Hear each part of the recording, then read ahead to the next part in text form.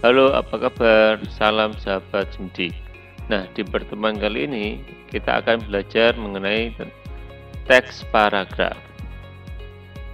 Materi pada kali ini ya memiliki kompetensi dasar menentukan paragraf deskriptif, argumentatif, naratif, dan persuasif. Untuk indikator pencapaian kompetensi, yang pertama adalah Kalian mampu menentukan paragraf deskriptif, argumentatif, naratif, dan persuasif. Yang kedua adalah nah, kalian mampu memproses atau membuat sebuah paragraf deskriptif, argumentatif, naratif, dan persuasif. Nah, untuk yang pertama adalah kalian harus tahu dulu apa definisi dari paragraf. Nah, di sini untuk paragraf merupakan sebuah kata yang diadopsi dari bahasa Yunani, eh, yaitu paragrafos ya, yang berarti menulis di samping atau tertulis di samping. Sedangkan menurut istilah tata bahasa Indonesia, pengertian paragraf yaitu suatu kumpulan persatuan pikiran hmm, yang lebih tinggi serta lebih luas daripada kalimat. Paragraf biasanya disebut juga dengan istilah alenia dan pada umumnya dalam satu paragraf terhimpun beberapa kalimat yang saling menopang dan mengangkat satu pikiran pokok untuk mendapatkan paragraf yang baik. Kita perlu memperhatikan syarat-syarat paragraf yang baik dan benar. Nah, di sini Bapak kenapa para teks paragraf harus dipelajari di dalam pelajaran simulasi dan komunikasi digital. Nah, tentunya di saat kalian nanti menggunakan aplikasi komputer ya, hmm, itu tentunya ada sebuah teks digital yang harus kalian tuliskan. Nah, nanti saat kalian mau bekerja atau mengerjakan tugas-tugas itu tentunya kalian harus mampu membuat paragraf yang baik di dalam komputer. Nah, yang kedua adalah syarat paragraf yang baik. Nah, syaratnya yang pertama adalah kesatuan atau kohesi. Sebuah paragraf dianggap memenuhi kriteria kesatuan apabila kalimat-kalimat dalam paragraf tersebut bersama-sama mendukung satu hal atau tema tertentu yang diangkat Hal ini karena sebuah paragraf yang baik biasanya. Yang kedua, kepaduan atau koherensi. Sebuah paragraf dianggap memenuhi kriteria kepaduan apabila semua kalimat yang membangun paragraf saling terkait antara kalimat yang satu dan kalimat lainnya yang membentuk paragraf tersebut. Yang ketiga adalah kelengkapan. Sebuah paragraf dianggap lengkap jika paragraf tersebut dibangun oleh beberapa kalimat yang terdiri atas kalimat utama dan kalimat-kalimat urean atau penjelas. Yang keempat adalah kevariasian. Sebuah paragraf dinyatakan memenuhi kriteria kevariasian apabila kalimat-kalimat yang membangun paragraf tersebut bervariasi baik dari segi struktur kalimat, bentuk kata, maupun pilihan kata atau diksi yang digunakan. Nah, nah itu tadi ketika kalian nanti membuat sebuah teks paragraf pada komputer harus memenuhi syarat tersebut ya agar paragraf atau hasil paragraf yang kalian buat di komputer lebih menarik untuk dibaca. Nah, di sini ya ada beberapa jenis paragraf beserta Contohnya, nah sekarang kita langsung masuk saja ke yang pertama adalah paragraf argumentasi atau argumentatif. Berisikan ide atau gagasan dengan diikuti alasan kuat untuk meyakinkan pembaca dengan isinya yang mengemukakan suatu pendapat yang diyakini. Contoh paragraf argumentasi Polusi udara terjadi di seluruh negara, bahkan di daerah Grobogan, utamanya terjadi di kota Purwodadi. Kendaraan bermotor menjadi sumber utama polusi di daerah ini. Hal ini mengakibatkan udara menjadi tercemar. Badan Lingkungan Hidup Kabupaten Gerobokan mencatat pada tahun 2016 terjadi kenaikan tingkat kendaraan dari tahun sebelumnya, berakibat naiknya polutan udara sebanyak 125 persen. Nah, di sini kita bisa melihat, nah, ada sebuah ide pokok yaitu tentang polusi udara di suatu wilayah ya. Nah, ide berarti idenya adalah tentang sebuah polusi udara. Nah, dan di sini ya menemukan suatu pendapat yang diyakini. Selanjutnya untuk jenis paragraf yang kedua adalah paragraf deskripsi. Nah, bersihkan ide atau gagasan pokok yang menggambarkan suatu objek sehingga para pembaca seakan melihat, mendengar atau merasakan objek tersebut. Nah, ibarat kita mendeskripsikan, mendeskripsikan sesuatu lah. Nah, contohnya ketika kalian menonton sebuah YouTube seperti YouTube yang channelnya tentang unboxing, ya, dia membuat sebuah video tentang mendeskripsikan suatu hal atau barang. Nah, dia tentunya menggunakan yang namanya paragraf deskripsi. Nah, contoh dari paragraf deskripsi yaitu seperti ini. Pantai Kapuk berada di Kecamatan Sukajaya, Kabupaten Mekarsari, Provinsi Bandar Lampung. Untuk mencapai pantai tersebut memerlukan waktu sekitar 7, 7 jam dengan jarak 15 km dari pusat kota. Pantai ini terbebas dari sampah dan cukup terawat. Pasir putih halus terambat luas di penjuru pantai. Ombaknya yang besar dan cukup tinggi membuat pengunjung tidak dianjurkan untuk berenang di pantai. Nah, secara tidak langsung ketika kalian membaca sebuah paragraf deskripsi ya kita sudah merasakan ya nah, dari idenya yaitu tentang pantai kapuk nah, berarti pantai kapuk itu pasirnya halus ya.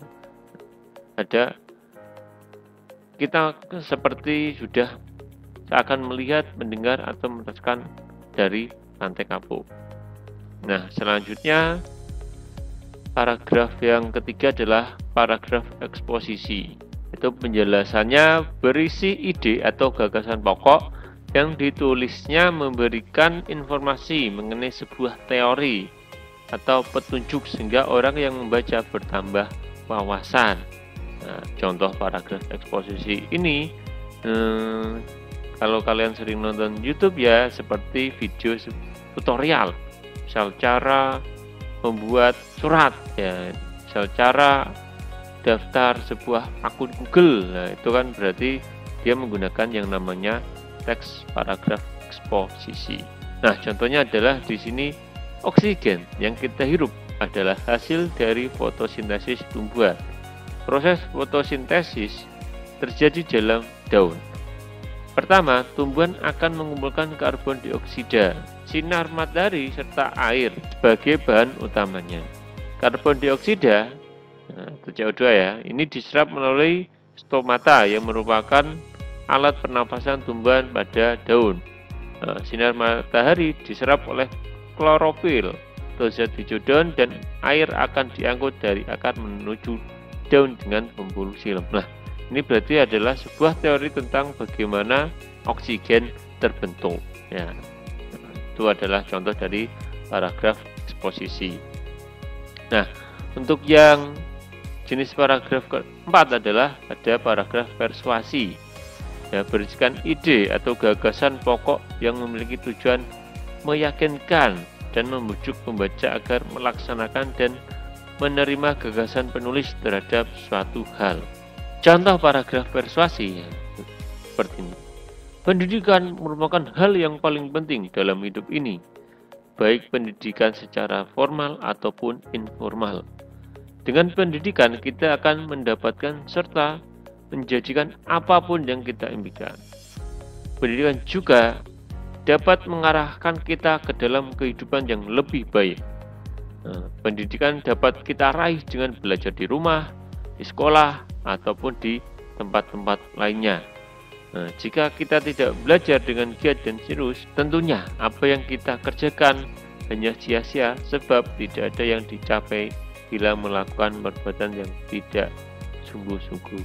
Nah, di sini nah, kalian sebagai pembaca dibujuk hmm, untuk tahu ternyata pentingnya pendidikan bagi kalian. Ini adalah contoh dari teks paragraf persuasi. Hmm, untuk jenis paragraf yang terakhir adalah paragraf narasi. Ya, berisikan ide atau gagasan pokok yang menceritakan suatu kejadian atau peristiwa yang disusun berdasarkan urutan waktu terjadinya kejadian tersebut.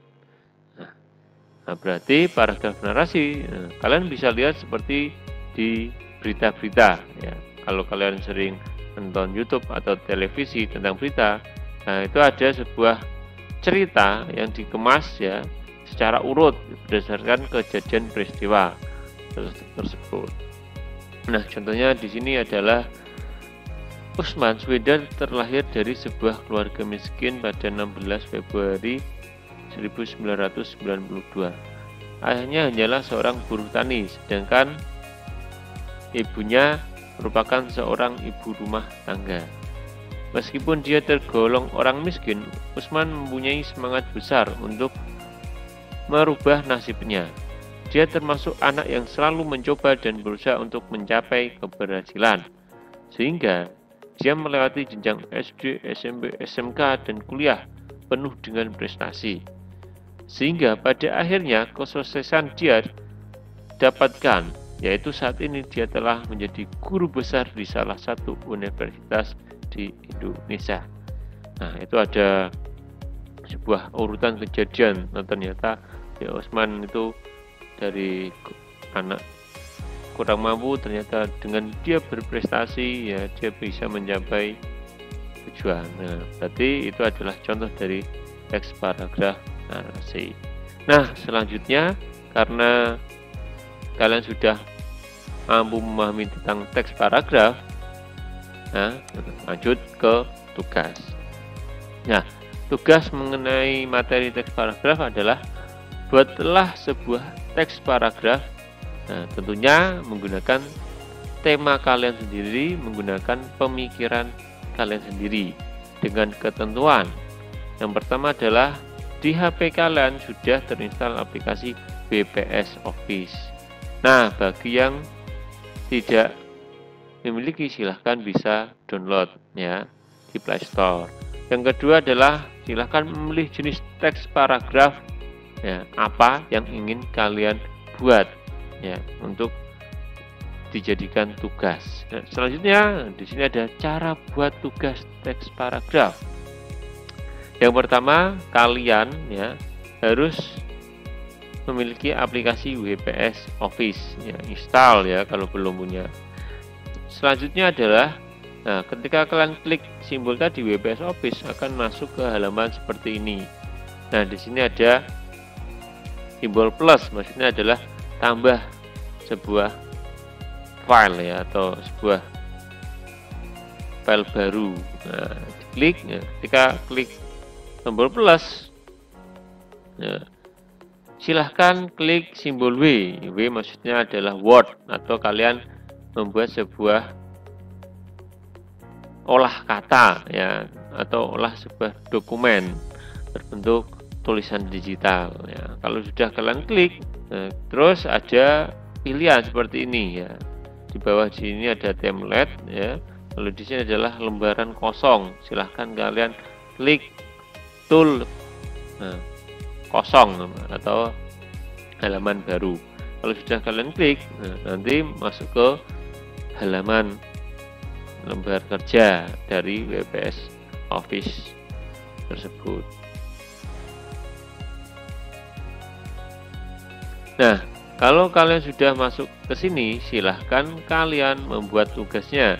Yang pertama adalah ada keterangan nama. Nama lengkap siapa absen berapa kelasnya apa terus hal adalah oh ternyata tugas simdik membuat teks paragraf.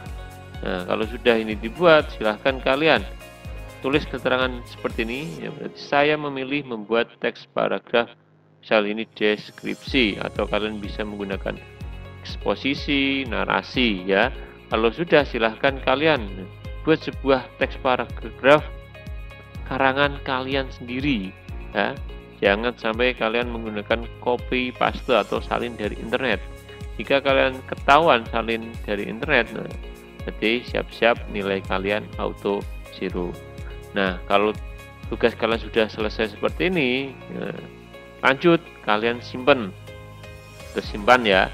Nah, klik simbol simpan di sebelahnya kata, kata selesai.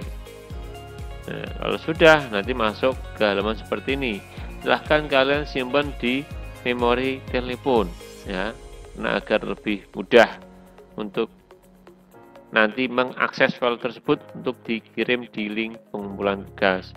Nah, kalau sudah diklik telepon, nah pastikan ya disimpan di folder dokumen agar nanti kalian mudah untuk mencari file tugas yang ingin kalian kumpulkan. Kemudian di sini, nah ini adalah nama. Silahkan kalian kasih judul tugasnya atau nama filenya adalah tugas simcik tes paragraf. Nah, kasih nomor absen, nama sama kelas ya. Nah, dan menggunakan format file yaitu .doc.